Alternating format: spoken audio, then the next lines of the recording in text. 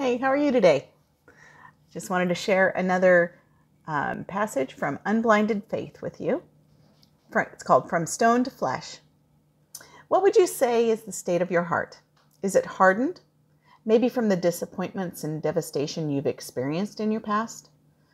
Is it soft, full of God's love overflowing through you? My heart has been both. It was hard until the Lord transformed the stony places to flesh. The process took me by surprise as he drew me into the book of Ezekiel, written by a priest who was called by God to prophesy destruction over Israel for their rebellion. Happy times, I tell you.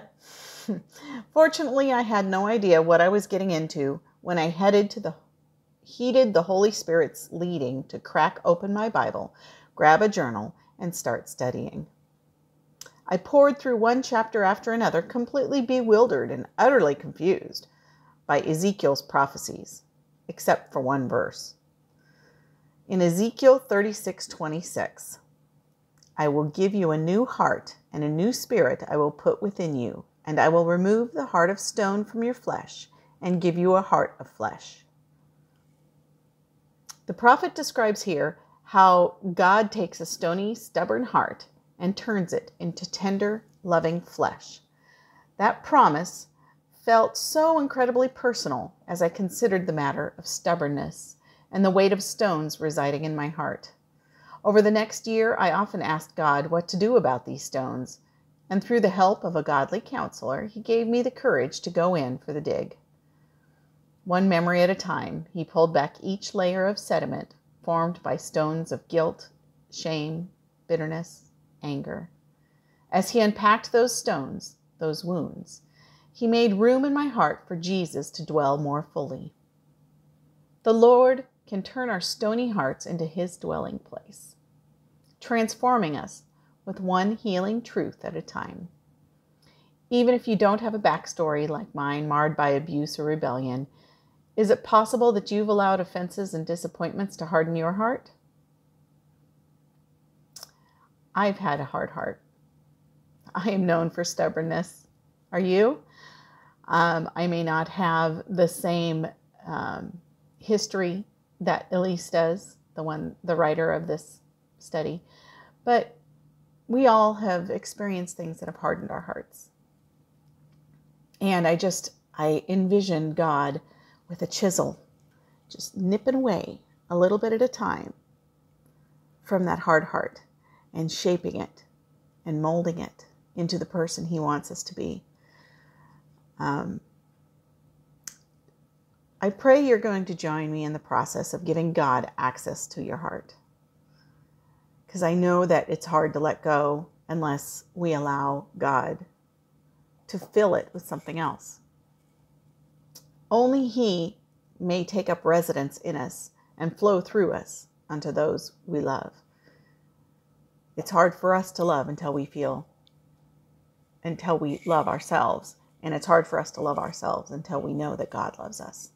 So I'm here to tell you that God loves you and He um, wants you to be His. He wants you to be His child. And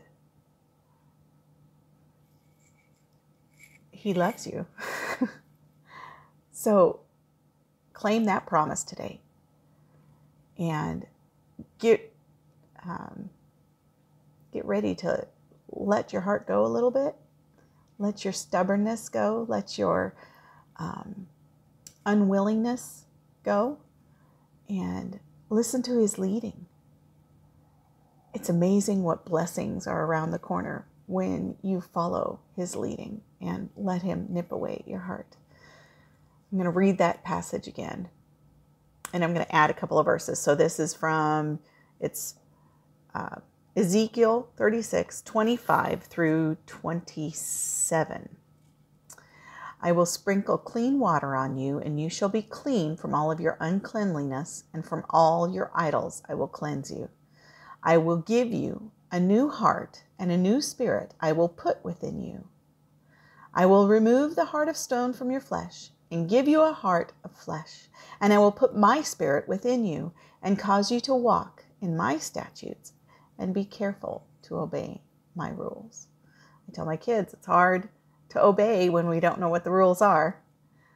It's hard to obey if we don't love the person who's giving us the rules. God asked us to obey to show him we love him. I pray that you will join me in loosening those uh, stubborn things that are going on in our hearts. And let's see what God will do in our lives. Let's pray. Heavenly Father, please forgive me for having such a stubborn, hard heart.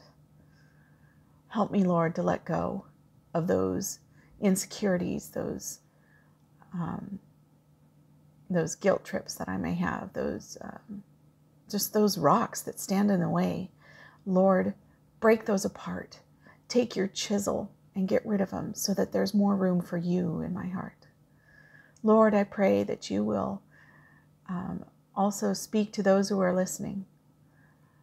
I know, Lord, that um, my words don't do anything, but your words, your words are what reach hearts. So I just pray that someone's heart is touched today and that you will prick their hearts to join our family. Uh, may those who know you, Lord, desire for your word more. Give us uh, your heart and your eyes and your hands, and may we be ambassadors of your gospel to those around us. In Jesus' name we pray. Amen. Have a blessed day.